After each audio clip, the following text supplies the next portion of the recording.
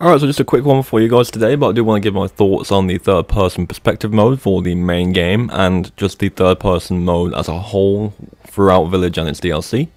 If you missed it yesterday, I did do a stream last night where I went through the entire main game in the third person mode and it was a lot of fun. It definitely did feel quite refreshing um, and in a way it does feel kind of new. So I'll give my overall thoughts with it uh, now and just point out a couple of things. But other than that, let's go to it. So it's a short one, so enjoy.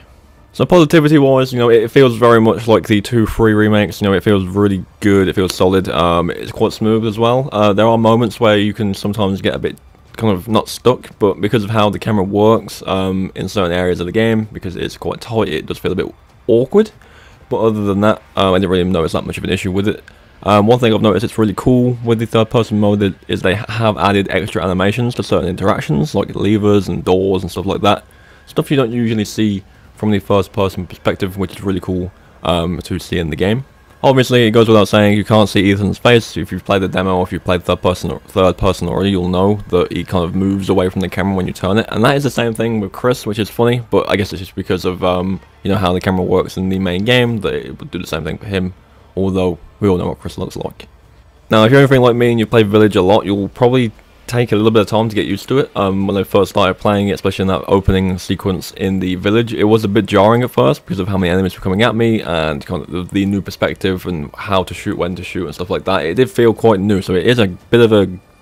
It's not difficult, obviously, but you need to get used to it again uh, when you play it. Moments like this as well, where it doesn't look like you're actually safe uh, when you are, also kind of feel weird in third person, but um, that's a very small complaint. Obviously it's probably because the game was built in first person, so obviously with third person being there it's going to feel a little bit weird, but nothing nothing breaks, nothing goes wrong, it's just something to get used to straight out the gate. But with that out of the way, I do want to say that going forward, I did mention this briefly in stream, um, last night, I, I, did say that you know going forward because of the reception of the first person mode, I think I think for the most part people did enjoy the first person perspective, but people do have problems with it. Whether that is you just don't like it or the motion sickness uh, aspect of it, it is a good system, and I do want to see it kind of remain in some way. Uh, but at the same time, third person feels very classic, um, and it does fit the game quite well. So I would always kind of hope that with the future games and you know RE9 more specifically, uh, give people the option you know to switch between first and third. It clearly works. It's good for horror, people enjoy it, um, so give people the option to play it in whichever mode they prefer. Obviously with 4 coming out, I would probably safely say that's going to be in third person only, but with any future releases, more so RE9, uh, have that permanent camera option straight out the gate, because that is a really good um, extra feature for people. But other than that, that's pretty much all I've got to say about it. It's not a big thing, it is literally just a perspective shift, but again, it does take some getting used to, it does feel quite good, and there are some little extra animations in there, so if you are eagle-eyed, you'll probably spot them.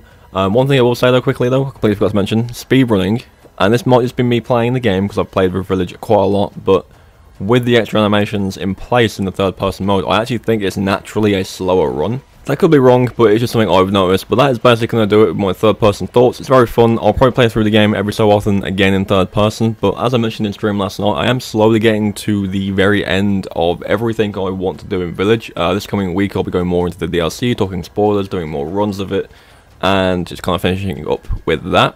Once that's done, I'm going to finish my Village of Shadows new game run and get the video out for that, which I'm hoping will be done by the end of the month.